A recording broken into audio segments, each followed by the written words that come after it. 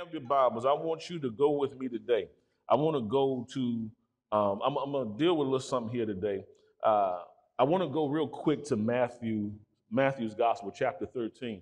We've been talking about the kingdom of God, the kingdom within, and even dealing with this kingdom series. We want to make sure, you know, we're hearing a lot about the kingdom of God. Jesus, when he came, he preached the kingdom. He preached the keys of the kingdom. He preached the kingdom of God and the kingdom of heaven is like a man such and such, or like this, that, or the other. And so, one of the things we got to understand is in order to live by the kingdom, we got to understand the kingdom. The kingdom, by just its basic definition, is God's way of doing, how He does, His method of operation. And so we begin to learn how does God function, how does He flow. And so I want to really be a stickler for the word. I'm gonna start here, and I'm, I'm gonna stick with the scripture um, and, and whatever hit hits. Um, but I, I don't want to rush this. I want to sow it into your spirit. I want you to understand the power of God. I want you to understand the power of you all as in you and I as individuals, as kingdom citizens, and the collective power that we have to transform and to change lives and to change environments, to change culture. And so we want to talk about this today. Now, I'm going to deal a little today about the word of the kingdom, but I'm going to talk to you a little bit about angel power today. I want to talk to you about the power of angelic forces that are at our disposal to assist us and to help us in accomplishing and achieving what it is God created and called for us to do. So if you're ready, say, I'm ready. I'm ready. All right, so we're going to go to Matthew's Gospel 13. Um, and when you have it, say, I'm in the house. Okay, I got one. Amen. Amen. If you don't, just say, Help me, Jesus. Help me. Help him, Lord. Help him. Help him, Lord. Amen. So we're going to read the book of Matthew, chapter 13. Now, I'm. I'm, I'm gonna just go. I'm, I'm, I'm, man, I'm stirred up. That was awesome worship. Awesome worship. Awesome worship. Praise God. Yeah, yeah, yeah, yeah. Now, watch this. The book of Matthew 13 the book of Matthew 13, verse 1. One verse, I'm, I'm gonna kind of go 1 through 23, but I want to kind of hit some things here. And it says, the same day Jesus went out, uh, the same day went Jesus out of the house and sat by the seaside, and great multitudes were gathered together unto him, so that he went into a ship and sat, and the whole multitude stood on the shore. And he spake many things unto them in parables, saying, Behold, the sower went forth to sow. And when he sowed, some seeds fell by the wayside, and the fowls came and devoured them up. Some fell upon stony places where they had not much earth, and forthwith they sprung up because they had no deepness of earth. And when the sun was up, they were scorched, and because they had no root, they withered away. And some fell among thorns, and the thorns sprung up and choked them. But others fell into good ground and brought forth fruit, some a hundredfold, some sixtyfold, some thirtyfold. Who hath ears to hear, let him hear. If you have ears to hear, let him hear. So, in other words, tune your ear in to hear what you need to hear today. Because what God wants to do is listen, when, when, when you come with an expectation, God will meet your expectation and I want you to pull and I want you to draw. And it says here, and the disciples came and said unto him, Why speakest thou unto them in parables? He said, He answered and said unto them, Because it is given unto you to know the mysteries of the kingdom of heaven, but to them that is not given. Um, and but to them it is not given. For whosoever hath, to him shall be given, and he shall have more abundance. But whosoever have not from him shall be taken away, even that he hath. Therefore, I, I watch this. Therefore, speak I to them in parables, because they seeing see not, and hearing they hear not, neither do they understand. Let me just pause right here and begin to say, okay, if you don't understand, seeing they see not, or hearing they hear not, okay, you can hear something but don't comprehend it or understand it. And so if you don't comprehend it or understand it, you can't you can't walk into it. And so if you don't have it, you won't have it. You, you hear what I'm saying? So that's why it's important for you to understand this, so that if you understand it, more is gonna come. And so now this is why it's important. Now I'm gonna keep reading because you'll see what I'm going to say in a second. And he says here, what verse am I in? 14. And he says, and in them Uh, and in them is fulfilled the prophecy of Isaiah, or Isaiah, um, which saith, By hearing you shall hear and shall not understand, and seeing you shall see and not perceive. For this people's heart is waxed gross. And see, this he's given an understanding there as to why you can't hear. It- it's hard to hear when your heart is hard. It's hard to hear when you're offended. It's hard to hear when you don't even want to hear. Okay? So I can be talking, but it's like my dad said this saying, just like a dull knife that just ain't cutting, talking loud and saying nothing. And so it, it- it- sometimes you got to be, you, you, you want to have the attitude of, okay, God, I want to hear, I want to receive, I want to understand, so that your heart can be open for the revelation God wants to get you. Okay? Now, I want you to just say this real quick. Say, Lord, I want to hear.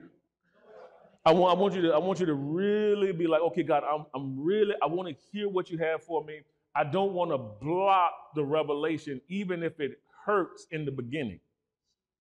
Even if it's a thing where my flesh doesn't like it, I know I need to hear. I want to hear what I need to hear. Okay? Because if I hear what I need to hear, I'm gonna grow from it. Okay? And so because this people's um, heart is wax gross, their ears are dull of hearing, and their eyes um, they have closed, least at any time they shall see with their eyes and hear with their ears, and should understand with their hearts and should be converted, and I should heal them. But blessed are your eyes, for they see, and your ears, for they hear. For verily I say unto you that many prophets and righteous men have desired to see those things. They've desired to see those things. Now, watch this.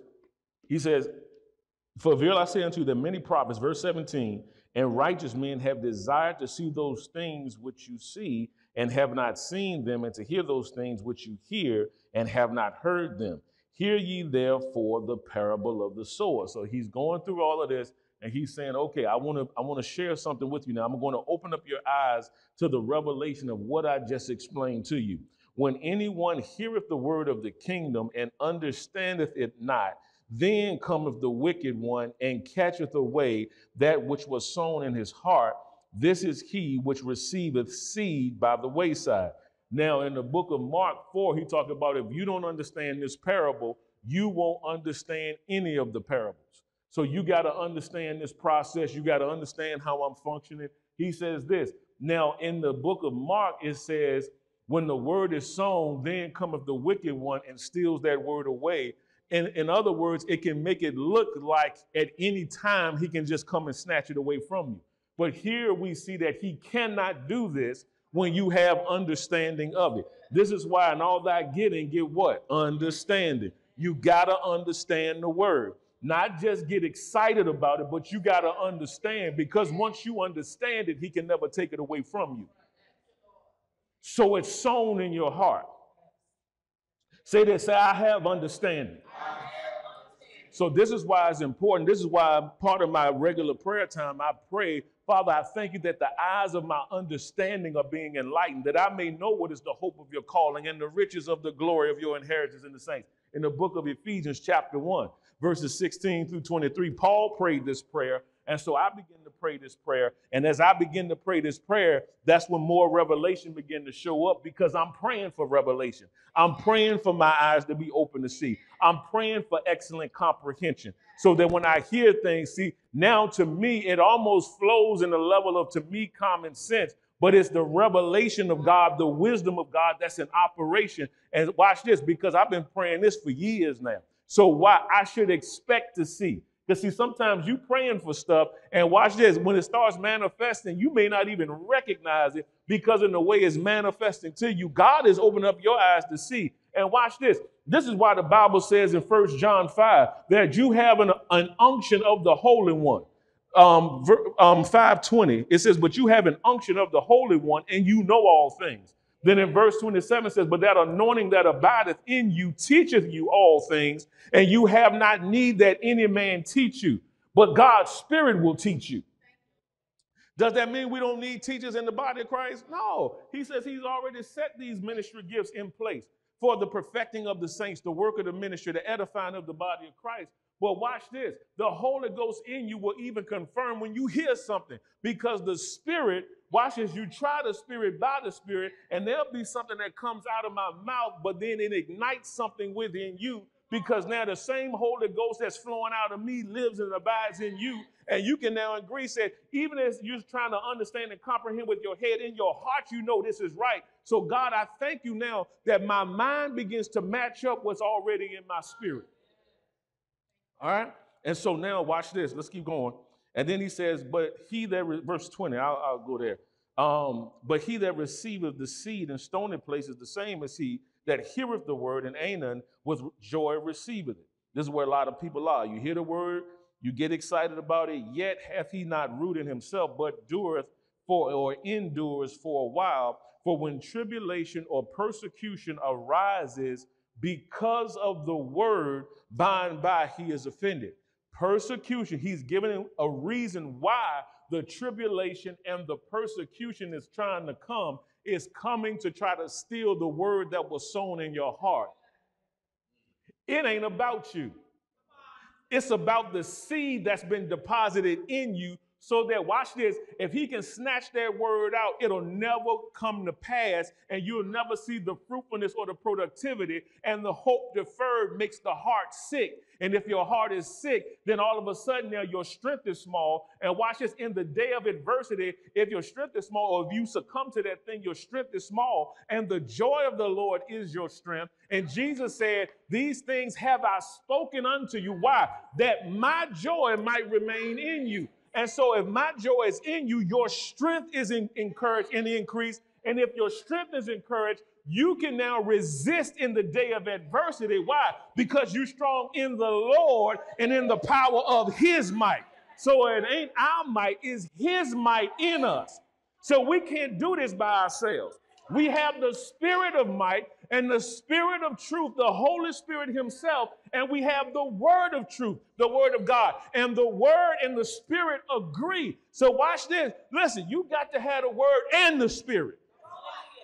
The Holy Spirit will breathe. This is how the kingdom works. God says, Not only have I given you my word, but I've given you the one who will decode and transcribe the word for you so that you'll understand everything you need to know. The Holy Ghost is in you, Christ in you, the hope of glory. See, you, you everything is in you. I'm telling you, no matter what's happened. I'm telling y'all, as I as I stand up here, when we come in prayer and I'm standing up here, I, my mind goes into the spirit and I start seeing stuff. And it's like the creativity of God, the wisdom of God. Everything that's needed that pertains to life and godliness has been given unto us. Now let's let's keep going. He says, now he says persecution arises, tribulation. Persecution arises because of the word, and by and by he is offended that's how Satan can get you. If he can get you offended or off ended. If he can get you off, he gets you offended. Now that word can't grow. It's a weed that comes up that chokes the word. And now what God is speaking will never come to pass. Why? Because you offended. This is why love walk is so important. We can't be easily offended. We can't be touchy. We can't be afraid. We can't take no account of a suffered wrong. Why? I gotta guard my heart, for out of it flows the issues, the forces of life. So if I get offended, it short circuits the power that can flow out of me. I refuse to be offended. I want you to begin to, whether you're online or in person, I want you to begin to declare, I refuse to be offended. I refuse to be offended. I refuse to be offended. Man, I can't tell you the number of people that's been offended because of something that's been said. I done said something, preached something. Sometimes the Holy Ghost will reveal something and they swear up and down. Somebody told me about something. I ain't listen, I ain't had a clue about it. It was just the fact that the Holy Ghost brought it up and it convicted you. And now all of a sudden your flesh rose up and you allowed the flesh to override the work of the Holy Spirit in you and so now you got offended and got away from your progress, got away from your development. Why? Because the very place you needed to be in, God got you offended in. I mean, Satan got you offended in so you can get out the atmosphere and get away from your development because the very person that, watch this, that was designed and called to help you develop, that's the one Satan gonna cause you to be offended by the most. Why? see, I can say this, I can say this boldly. Why? Because as a preacher, I'm anointed for your deliverance. So if I'm a carrier of your help, if I'm your enemy, I'm going to try to come and get you off ended with the person that's been called to help you. Man, see, you got to understand how the enemy works. Now, watch this. Verse 22 He also that receives seed among the thorns is he that heareth the word, and the care of this world, and the deceitfulness of riches choke the word, and he becomes unfruitful. Because that, that's a dangerous thing because we've been created to be fruitful. That was one of the promises in Genesis. That was part of that blessing. I want you to be fruitful. And he gives you the description of what will cause you to be unfruitful. See, you, you're carrying too much care. You carrying too much care. And because you're carrying so much care, it's causing that word to be unfruitful. You too busy worrying about everything instead of focusing on the main thing. He told Martha, Jesus said, Martha, Martha, why you come about with so much? Mary have chosen that good part. She was sitting at his feet. Martha was in there serving tables and she got hot. Why you, how come you ain't getting no Mary? I'm in here working and she out there sitting at your feet. He's like, why you tripping, girl? Why you tripping? And it's like modern day vernacular. He said, okay, you tripping. She's chosen the good part. First things first. Come sit at my feet. Come feed off of me. And out of that now serve. See, you won't wear out in your servanthood if you keep your fire burning. I used to sing this song years ago. I got it from uh, Bishop Carlton Pearson. I wish somebody's soul would catch on fire, burning with the Holy Ghost. See, when, when, you stay, when you stay fired up, it's hard for you to wear out. Uh, Apostle Fred Price, I remember we was in a ministers and leaders conference many years ago, and he talked about even um, some, some tips and pointers for ministers of the gospel. And he said, You won't burn out if you do these things. You know, everybody else, it's hard. It's time. Jesus said, My yoke is easy, my burden is light. He said, The way of the transgressor is hard. It's only hard when you don't do it the way he say do it. It becomes easier when you realize it ain't about you anyway. It ain't about me. I'm not, I, listen, if I've been declaring that I'm going to receive these things without stress, struggle, or strain, I need to begin to believe and say, okay, God, whether they grant the yes or the no, it ain't on me anyway. I believe you. Now, whatever you got to do to make this thing happen, I ain't losing no sleep over. If they fire me, you give me another one. You got me that one, you'll give me a better one. If they kick me out the house, you'll create another one for me to get into. Listen, you the same God that sits high and looks low. You the same God that created the trees that created the house. So I don't care whatever, whatever you got to do, Jehovah. I'm gonna play. Calm down, boy. Come, Lord Jesus. Whatever you got to do. Because I trust God. You ain't got to worry about nobody. What? Lord Jesus, help me, Holy Ghost. And it says, But he that receives seed, verse 23, into good ground, good ground. Somebody shout, I have good ground. Is he that hears the word, understands it, which also beareth fruit. You hear it, you understand it, and you produce it. That's what qualifies you as good ground. Do you hear it, understand it, but then walk it out?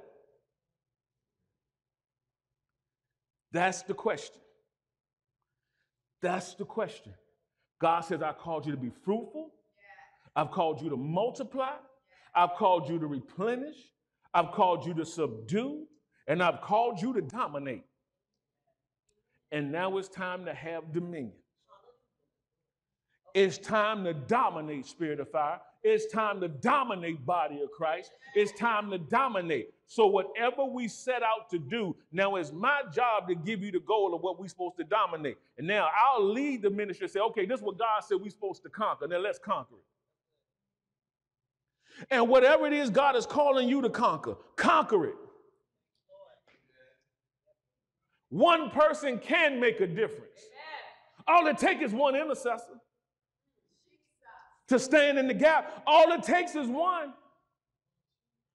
You got, listen, one will put a thousand to flight. Yes, two will put 10,000 to flight. But you got to understand the power that you packing as the one. Even if it's just you, watch this. Listen, if I don't have a human agreeing with me, I got the Father, the Son, and the Holy Ghost.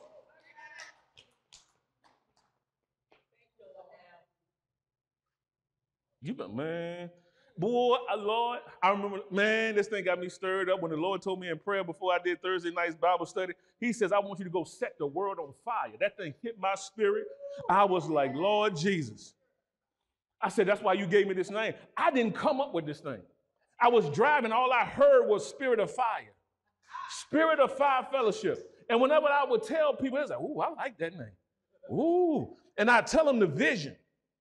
As we manifest the love of God through active goodness and kindness, our goal is to teach people their authority, rights, and privileges as believers on the Lord Jesus Christ, pursuing their purpose, igniting a passion and fire for the kingdom of God, revealing to the world the true sons and daughters of God, and blazing with his glory. God's manifested goodness ought to be seen on your life. Why? Because you done got connected with a vision that done set you on fire. You, okay, hold Lord Jesus. See, when that fire show up, you listen, you will see, you will see somebody that's hurting. And all of a sudden, there should be a compassion that rises up in you that wants to go lay hands on the sick and see them recover. It's like, God, I done read about it long enough. I got to see this thing now. I don't know about y'all. It's like it's time. I've, I've seen legs grow out because I just stepped out and did it. I just followed the example that was set before me. It was that simple. I believed it and I did it and I saw it. Okay, okay, okay.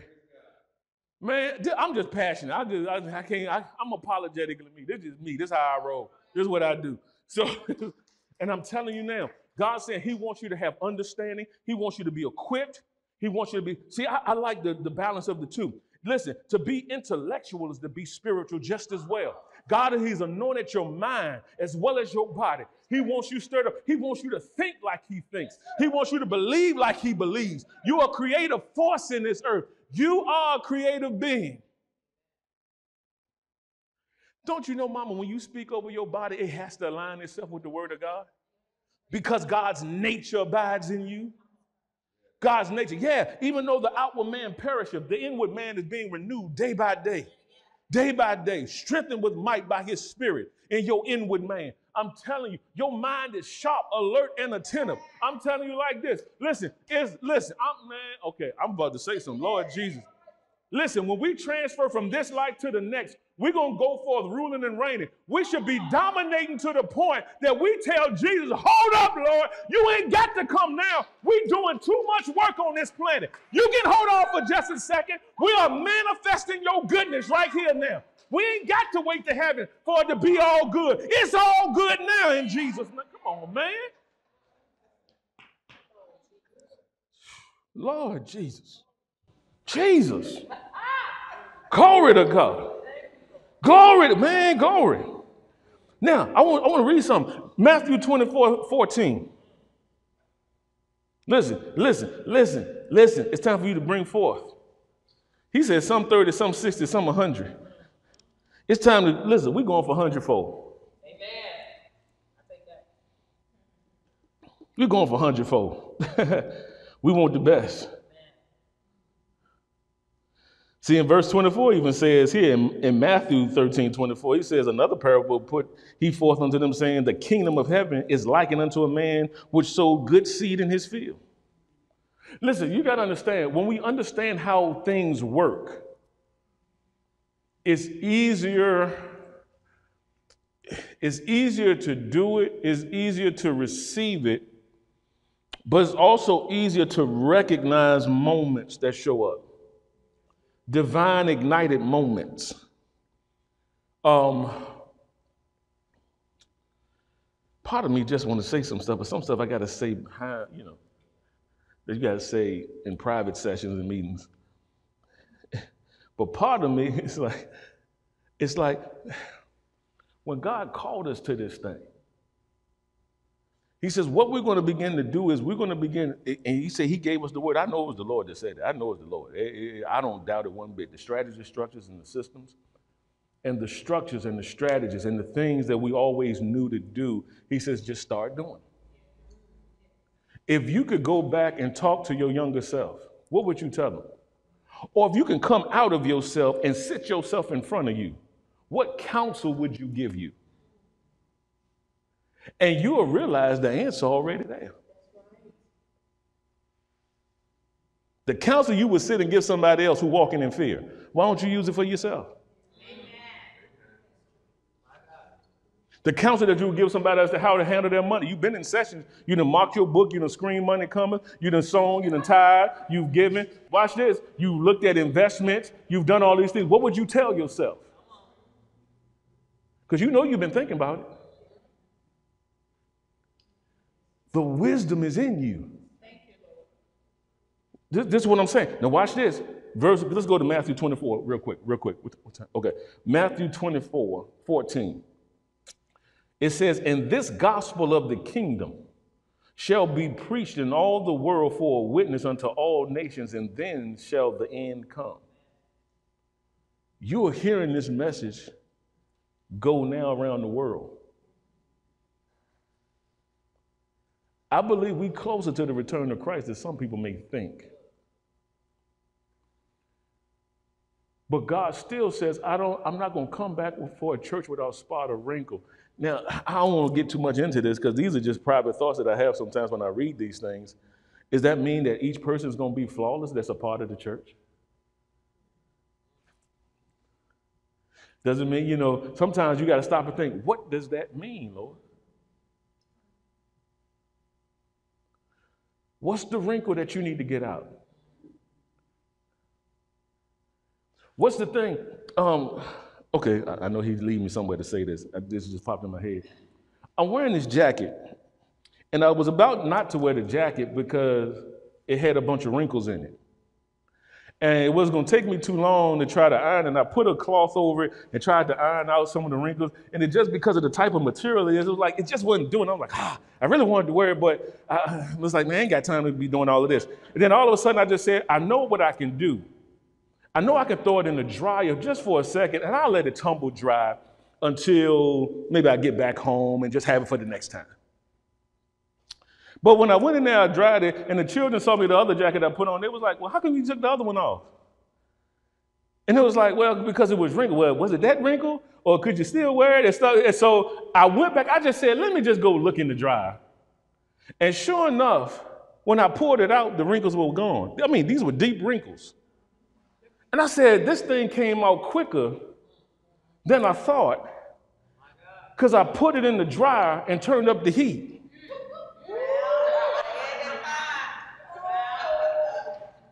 And when he started talking to me the other day about spirit of fire, part of that is the refiner's fire. To drive those things out that's been causing those wrinkles.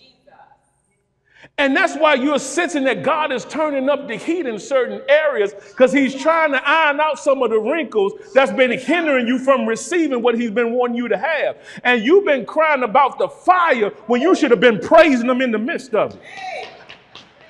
He said, because it was me to get out of you.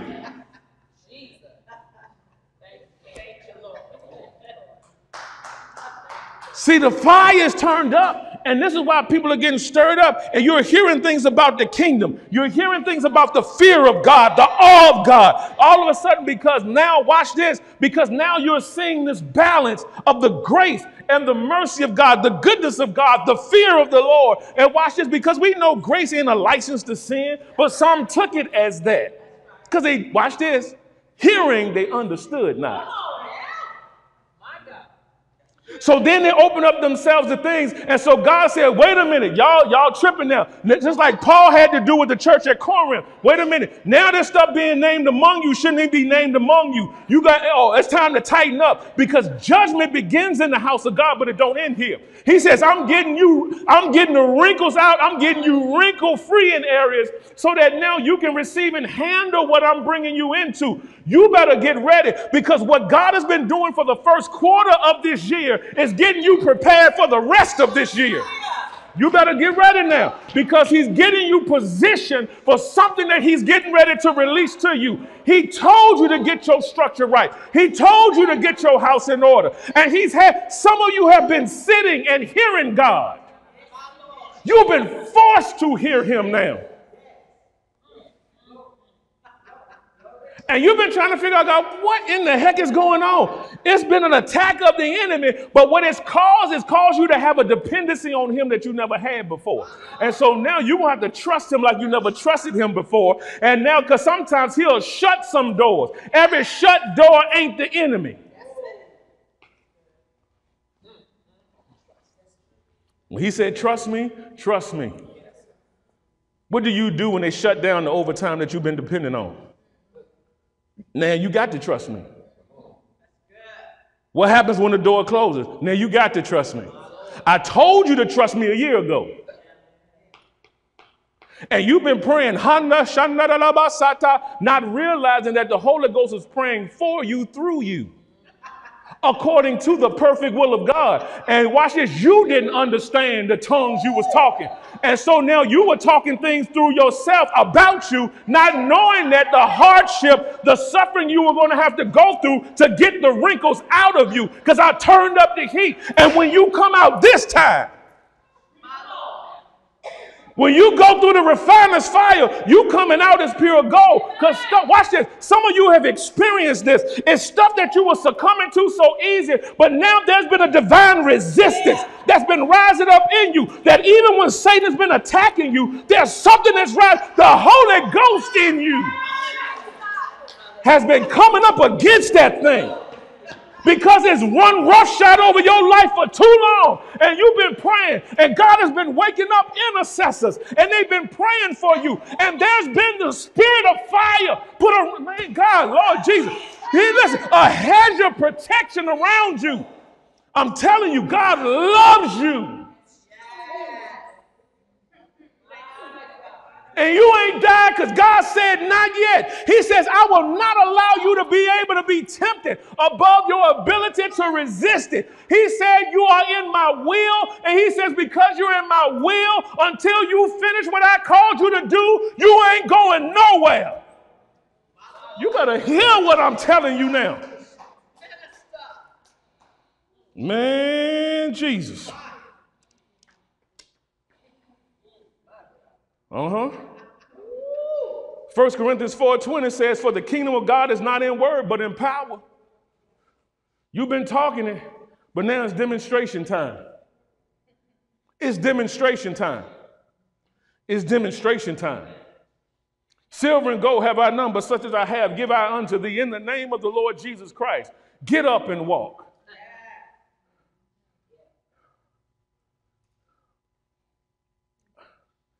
See, I'm, I'm, I'm gonna say some bold stuff. I'm gonna say some stuff that if all of us activate,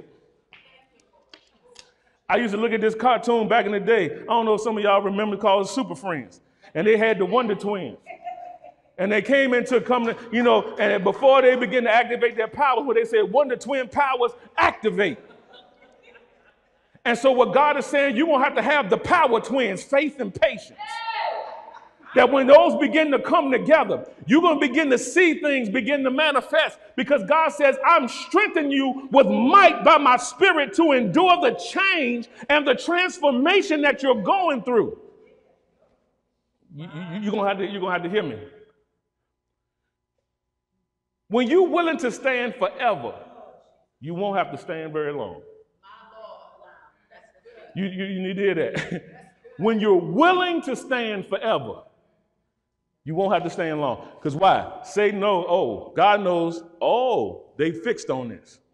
They believe this. He's just trying to get your faith built up. He's training you for eternity. I got this from headquarters. He's training you for eternity. You're too limited in your thinking. We're going we're going to help him. We'll continue to help our Lord Jehovah in the creation process. Some of y'all, I know, some of y'all, I, am seeing too much into y'all, y'all, y'all, y'all got to work with me. Got to work with me. He, he says, I'm training you, not just for here, because if you don't learn it here, you will have to learn it there. You're going to have to learn it. And there'll be those, the scripture even talks about those that have robes of righteousness. There are things you're going to have to learn on the other side. You're going to realize how much of a reflection earth is of heaven. Earth is the Lord's taste.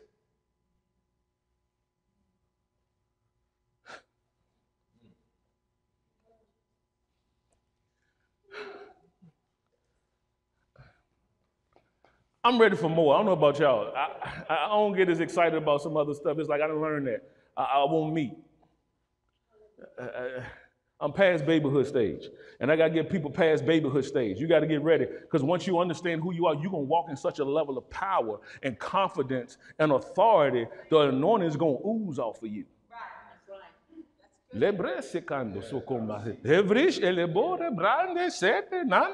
Tose kande bete, manda kana, no te kande bese lele bufre fras de gine, ulum bli gine, kura base kenda hele, nukumana, ni kando kende, makando, mini nukumbrita kando skande kumba, muto kumba dese tele boso.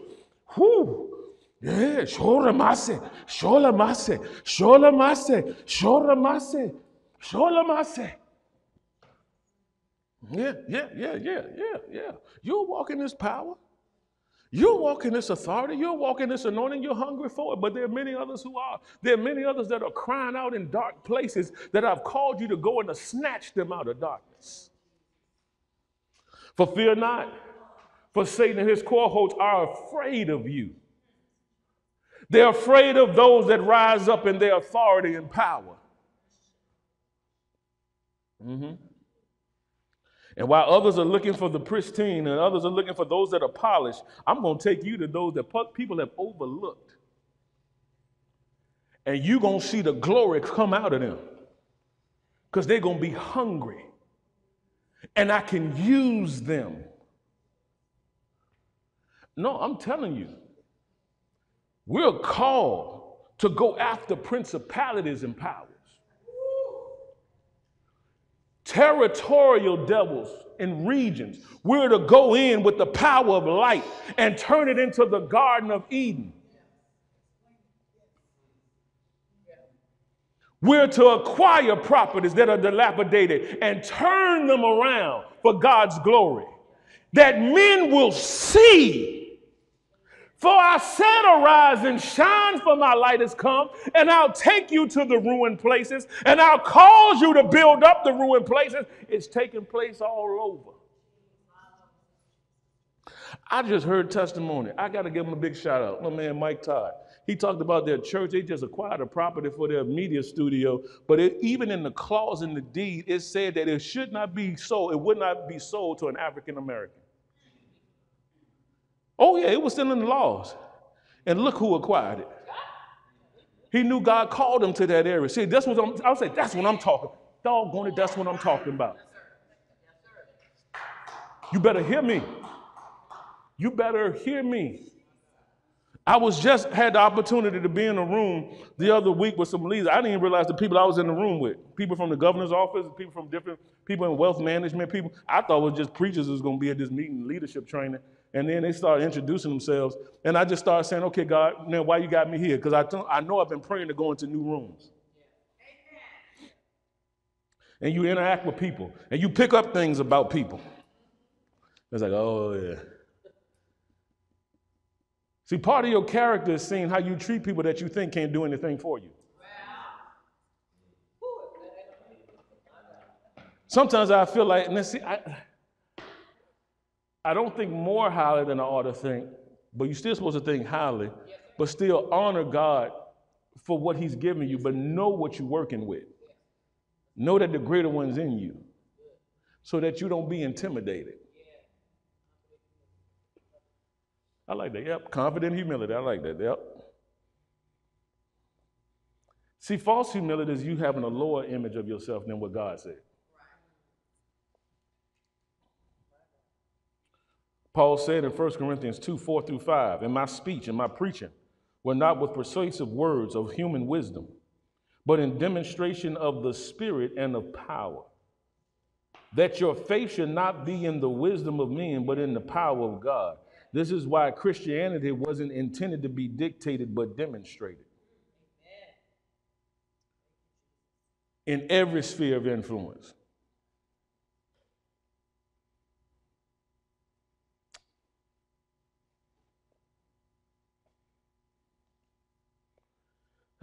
I'll say I got to get it out. I got to get it out. I got to get. I, I speak. I feel like when I speak it, it's something that's going on. Man, oh Jesus, your, your, your name going in the rooms that you ain't even in yet. Your name will precede you when you begin to call out your name. John Hannah was just talking about this. He was preaching. He was preaching um, at a church, and he talked about calling out your name. He was led to do that in prayer with his people. And all of a sudden, he got a call from Africa, from a preacher that said, I'm looking for John Hannah. He was invited, no, he was invited to the church. He went to the church. He met the pastor. The pastor was like, he came in the room. He said, I just wanted to meet you and see you. You know, he was thinking, what you mean to meet me and see you? You never seen me before? It's almost like, why you invite me if you don't know me? He said, I was in prayer and I kept hearing the name John Hannah, John Hannah, John Hannah. But he was talking about, preaching about declaring your name in the atmosphere, and people going to hear your name. And he said he called a person who was an African in America, and it happened to be the person who used to live across the street from him. It says, Do you know a person by the name of John Henry? He said, Yeah. And he ended up inviting him. And somebody had prophesied to him years before that, you're gonna, you're supposed to be in Africa preaching. The thing is this there are spiritual laws that we haven't even acknowledged, and if you don't acknowledge and understand it, you won't walk in it. This is why, too, oh man, my time, goodness. I, if I got time, I'll get to it, but I, I probably won't get to it today, maybe too much. This is why you got to understand the angel power you have at work. You have heavenly assistance. We all have heavenly assistance, unseen forces that are ready to go to work for you. But how, watch this. The Bible talks about innumerable angels. And you see just the number, and remember, a third of them fell with Satan. We also hear about our guardian angels, those that have been assigned. But watch this. The Bible, from I haven't seen it even in my studies dealing with angels, it never says that all of the angels that are created have been distributed evenly. They will go to work for whoever puts them to work.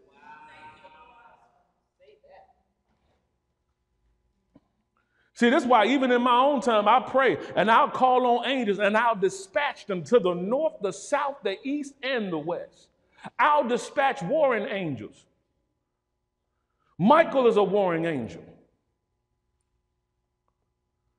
See, see, I, I know we don't talk about too much. Remember, Remember, was it? Gabriel came when Daniel was in prayer and fasting for 21 days. And he said this He says, From the first day that you set your heart to understand, he says, I came for your words. He says, But the prince of Persia, a principality, was withholding me 21 days. And now I'm come.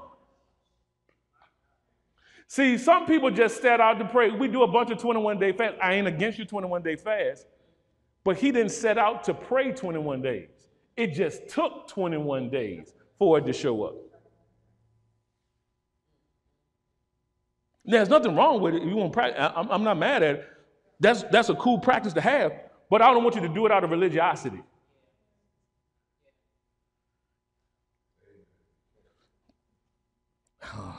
Is it you about to go into another realm of the spirit?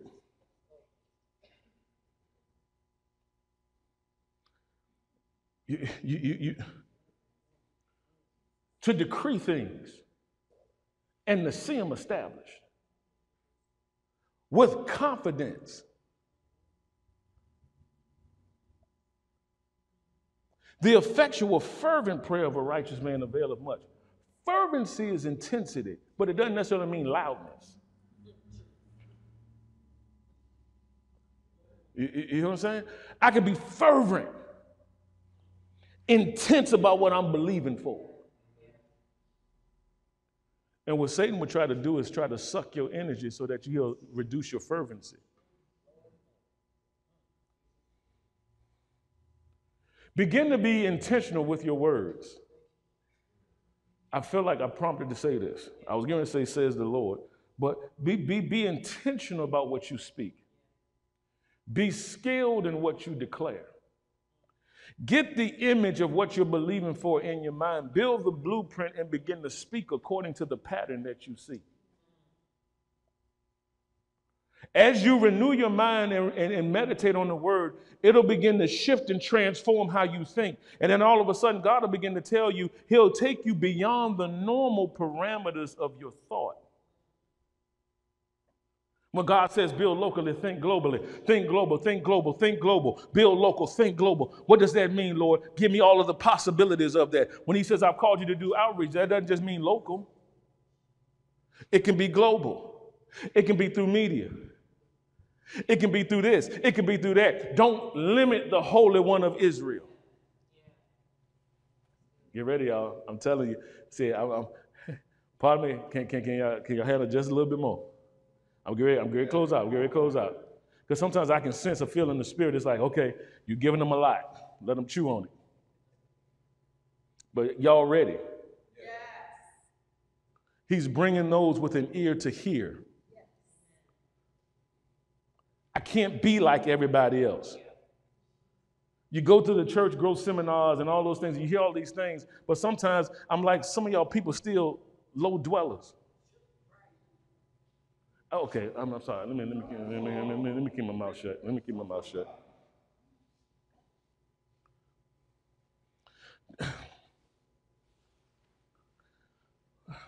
okay. Mm, Sweet lips increase learning. Sweet lips, sweet lips. When you eat meat, you can't keep going back to cereal. It don't feed you the same. Don't feed you the same. It's nothing against. Everybody has their role to play. So hear me when I say this. Every person has their role. You have some people who are elementary school teachers. There's some people who are middle school teachers, and then high school teachers. And then you got professors in universities. Each one is important.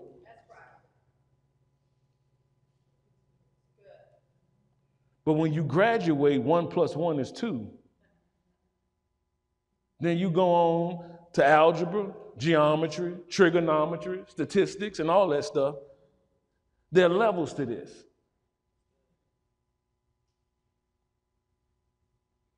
What my assignment is, is to get you to walk in the authority of, to get you flowing. And I'm like, God, okay. I said, Lord, this good that I'm gonna preach this to them. I want to demonstrate it. I want this demonstrated. I want this demonstrated.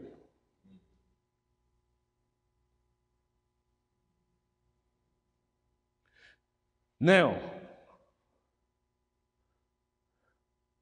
uh, how I say that? I don't want to be what you call them spooky pookies either. It's everything you dumb deep with stuff. What I mean by dumb deep, is off the pages. You find no precedence for it. But there's some things because this Bible is based off of the redemption. The Bible is a book of redemption and authority. We call it basic instructions before leaving earth. But there are things afterwards that's not in here that you'll see later on. Hear me. Hear me when I say you got to get, rid. When you start saying stuff like you, I'm not saying you don't use this. This is what we live by. This is what He's given us. But there are things in the scripture your eyes have not seen yet. And you've been looking and reading past it for years. And when it's time for you to see it, your eyes will be open.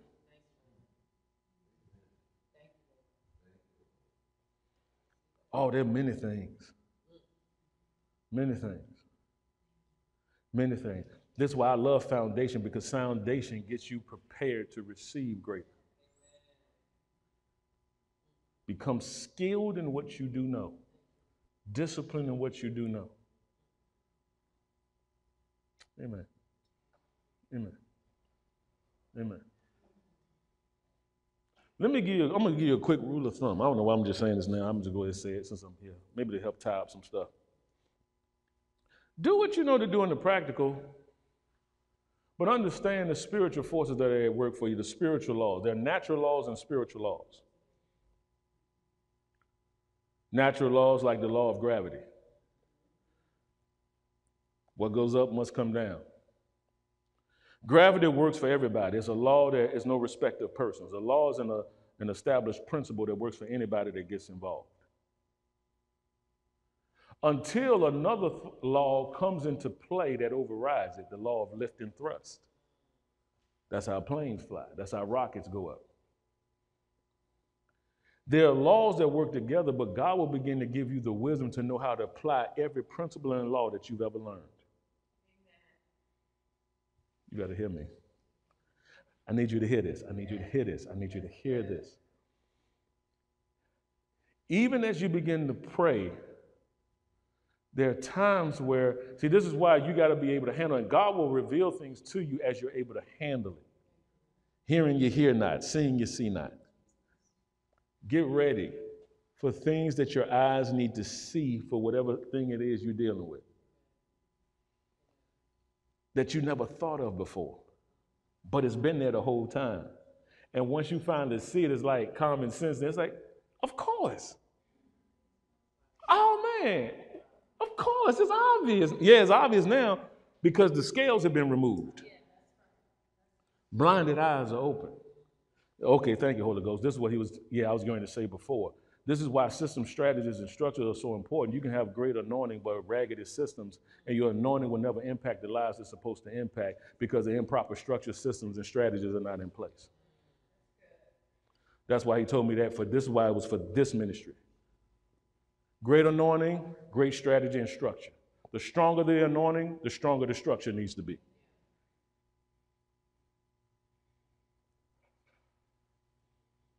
Write the vision, make it plain so those that read it can run with it. People need to read it, but it has to be understandable. What are you about? Then they'll recognize I'm supposed to connect. Those that connect will, those that don't won't. So don't lose no sleep over either one. He who has ears to hear, my voice is a sign to certain ears. And I got to be cool with that. Everybody, ain't everybody's cup of tea. And I can't walk in inferiority and insecurity because then I'll shut down who I really am. Trying to fit another model, trying to say, okay, well, you do this, so let me go ahead and do this. And you do this, so let me go ahead and do this, and losing me the whole time. And then the ones who call to me get frustrated because now I dumb down who I am to try to fit a model that God didn't mold me to be. You hear me? Mm-mm. Don't you do that. Don't you dumb down your anointing. You are an original. Just be confident. This is why some of y'all have gone through seasons of isolation. You needed to learn how to be alone so that now you won't be ruled by the opinions of people. That's why you are alone.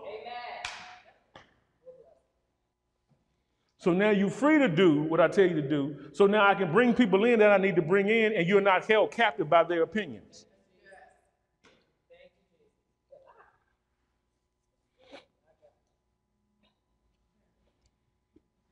It's growth time. Hallelujah. Glory to God. Father, we thank you. We give you praise. We give you glory. We thank you for your word. We thank you for your wisdom. We thank you for your faithfulness. You are just God. There's none like unto you. Oh, somebody online, I just I speak life over you. I speak strength over you. I speak wisdom and peace over you. Some of you have been taking notes. Some of you have been hearing confirmation, confirming words in your spirit. Whatever it is you needed to hear, you heard today. God is strengthening you, He's equipping you, He's deploying you.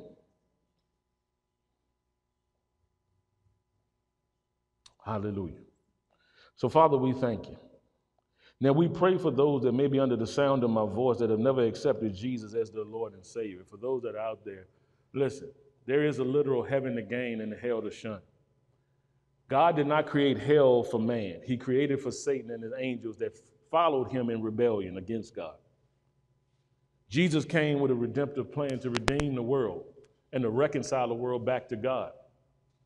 Christ died for you. He shed his blood for you. God raised him the de- from the dead. He's seated at the right hand of the Father now, forever making intercession for us. But all you have to do is believe what he did, accept what he did, and confess what he did. The Bible declares that if you will confess with your mouth the Lord Jesus and believe in your heart that God is raising from the dead, you shall be saved. Not just making him Savior, but then you're going to have to make him Lord. Receiving his teachings, understanding how his kingdom functions and works. That's what we're here as the church for. Fivefold ministry gifts apostle, prophets, evangelists, pastors, and teachers to help train and to develop you as believers on the Lord Jesus Christ. Accept Jesus today. It's the best decision that you'll ever make. He also has promised you the gift of the Holy Spirit to abide in you. The Holy Spirit is here in the earth with us today. He came on the day of Pentecost in the book of Acts, chapter 2. It talks about that the, the Holy Spirit, He invaded the atmosphere. There was a sound as of a rushing mighty wind, and He filled the house where all of they were sitting. There were cloven tongues like as a fire, fire, and they filled every single person in that upper room, 120. And they were filled with the Holy Ghost and began to speak with other tongues as God gave them, as the Holy Spirit gave them the utterance. Now watch this. Afterwards, the Bible, Jesus says, you shall receive the Holy Spirit, but then watch this, He'll cause you to be a witness. He'll empower you to be a, an effective witness for the Lord. I like to call it the, the dual working of the Holy Spirit, the Spirit within and the Spirit upon. The Spirit within is to help you develop your character and strengthen you inwardly, but then He comes upon you for service, to equip you with gifts, talents, and abilities to now serve the kingdom of God, to serve God's agenda in the earth, to serve mankind. Accept Jesus today. Walk in the fullness of who God called you to be. Some of you have been struggling with purpose. This is your time. This, this was destined by God. Some of you received an invitation just to log on in the seat. I want you to receive Jesus now. It's real simple. I just want you to, to, to pray this simple prayer with me. I want you to say this, along with everybody else here in person and, in, um, and online. Say, Lord Jesus, I believe that you're the Christ, the Son of the living God. I believe that you died for me. I believe that you were raised from the dead for me. Come inside my heart now, Lord Jesus. I give my life to you. Say, Satan, I no longer belong to you. Jesus is my Lord, and I'll serve only Him all the days of my life. Say, Thank you, Heavenly Father, for giving me your Son. I'm saved now. I'm born again, and I have eternal life. Hey, that's it. That's it. You're born again. Now I want you to say this say, Holy Spirit, I receive you now. I allow you to come to live in me, to dwell in me, to strengthen me, to empower me. In Jesus' name, amen. Now, I'm doing this for a reason. I want you, now, we don't have you here in person. Normally, we'll have somebody that'll minister to you. And I know everybody in person here, I know they, they, they're all good, spirit filled, understanding the word and the work of the Lord. But I want you to do this. For those that have just gotten born again, let us know. Do we have a number they can text us at, or, or just do the information like we normally? We can do the. Um, it's coming up on your screen. There's an email that you can send us. Um, that you can email us at connect at spiritoffire.us, or you can also send us a DM through our social media platforms. If you desire for us to learn more about this walk with the Lord and how um, to walk out your faith, we want to help you. We want to assist you in doing so. Um, you can also, for those that may not even be on there, you can go to our YouTube channel. You can go ahead and click subscribe and hit the notifications button so that you can receive all of the content that's on there. We're going to be uploading more content to assist you in your walk. You can follow us on all of our social media platforms because God has dealt with me about digital discipleship this year to help people, to help develop them through just different means, um, different mediums, to help disciple and train people in the walk of God. And so, if that's you, we want to hear from you. We want to acknowledge you. And we'll have somebody from our Connect team get with you um, to help and to assist you with that. Amen. Let's give them a hand clap for anybody that's received what's online. Amen. All right. Now, what we're going to do now, we're going to honor God in our giving. Uh, we like to call it opportunity for prosperity time. And so uh, there's some information coming up on your screen um, and as you're doing that, today is also First Sunday. We're going to uh, have communion. So even while you're getting your offerings together, your tithes, offerings, gifts of love, we want you to also um, go ahead and grab your elements because we're going to pray and we're going to get ready to partake of communion together. Um, there's information on your screen. There's a QR code you can scan, and uh, it'll take you to a secure page. And on that page, you can um, sow your tithes, offerings, gifts of love. Whatever God tells you to do, I want you to pray. And as God has called you, the spirit of generosity, let it, let it be there to, to, to guide, and to lead you, excuse me, as to what you should sow and what you should give. Amen. Praise God. Will y'all get anything out of this today? Amen. Amen. And as you're doing that, for anybody here, if you need an envelope, um, ushers be happy to assist. Actually, I need one as well. I need one today. Hallelujah. Amen. Praise God. Somebody say this, say, for the Lord is good, and his mercy endures forever. Let's say it again. For the Lord is good, and his mercy endures forever. Amen, amen, amen, amen, amen. hey, glory to God. Hallelujah. Well, as we are giving I want us to do this as well. As I said, today is First Sunday, and we honor God with the communion table. Jesus said it like this He says, Often as you do it, I want you to do it in remembrance of me. He said, This is my body that was broken for you, my blood that was shed for you. Without the shedding of blood, there is no remission of sin, no taking away of sin. Jesus died. He was the final sin sacrifice the lamb that was slain before the foundations of the world. The Bible calls him the second Adam. And so, listen, he came to die to restore what was lost, damaged, and destroyed. So, when you receive Christ and we acknowledge this table, we're acknowledging divine healing because Jesus, when he was whipped with the cat o' nine tails, uh, was it 39 stripes um, that he was beaten with, which was the maximum penalty. And there were even, there was a doctor's report that shared, and I don't, you know, this was a while ago, um, that there are 39 categories of diseases that all other diseases flow from. God knew this ahead of time. So, in other words, when Jesus died for you, when he was beaten for you, the stripes that he took, this is why the Bible says, and with his stripes, you are healed. In Isaiah 53 and 5. 1 Peter 2.24 says, and with his stripes you were healed. So you can declare healing and watch this. This is putting you in remembrance of the fact that you are already healed. Say, I am healed. And watch this when you drink this juice, which represents the blood, is also the washing away of all your sin, the penalty that's attached to it. When God looks at us, he sees us through the blood. Nothing but the blood of Jesus. I wish I had an organ here with me right now. What can wash away my sins? Nothing but the blood of Jesus. What can make me whole again? Nothing but the blood of Jesus. Oh, precious is that flow that makes me white as snow. No other found I know. Nothing but the blood of Jesus. Boy, Satan can't stand hearing about the blood. Ooh, Jesus. Man, I, I, felt something right there. Glory to God. Hallelujah. So, Father, we sanctify these elements for the purpose of communion, recognizing the, the body of our Lord that was tattered, torn, and beaten, but also raised in honor.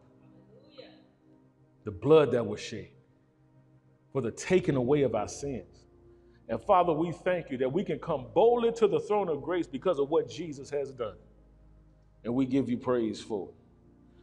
Jesus said, This is my body, which is broken for you. As often as you do it, I want you to do it in remembrance of me. Let's eat. After the same manner, also he took the cup when he had supped, saying, This cup is the New Testament or the new covenant in my blood. As often as you drink it, I want you to do it in remembrance of me. Let's drink. Hallelujah. Glory to God. Amen. Well, let's stand to our feet. Um, and I want to give you the final benediction today. I want to bless you. I want to declare God's favor over you. I declare in the name of Jesus, I want you to receive this. Receive this word. I declare. Oh, you don't have to repeat. You don't have to repeat. Just I just want you to receive. I want you to receive. Um, I declare a great favor on you. I declare open doors that no man can shut. I declare that God is raising up people to use their power, their resources, and their influence to assist you and to help you. I declare that your eyes will be open to see every possibility. I declare great faith and great favor on you. I pray that the gift of faith begin to manifest for you to supernaturally be able to believe for certain things. I declare the spirit of innovation and acceleration take place. That things will happen at a greater pace, but you're ready to handle the new rhythm for your life. I declare it now in the name of Jesus. I declare restoring and repairing of anything that's been lost, damaged, or destroyed. Mm. May you not worry ever again about that loved one, about that situation. I declare that anytime the enemy tries to come against you, that the Spirit of God will rise strong within you and remind you who you are and bring everything to your remembrance that's needed in Jesus' name. So, Father, we bless you. I declare growth over this ministry. I declare divine alignment. I declare order. I declare unity. I declare strength. I declare wealth. I declare power. That we walk in the love of God and the comfort of the Holy Ghost. I declare growth and expansion. I declare new buildings coming now, new facilities, new vehicles, new homes, even. Wherever you are, whatever's been disrupting your peace, I shut it down there in Jesus' name. Now, Father, we bless you and we thank you for it. We call it so now in Jesus' name. And the church say, Amen. Amen. Praise God. God bless you all. See you next time. Amen.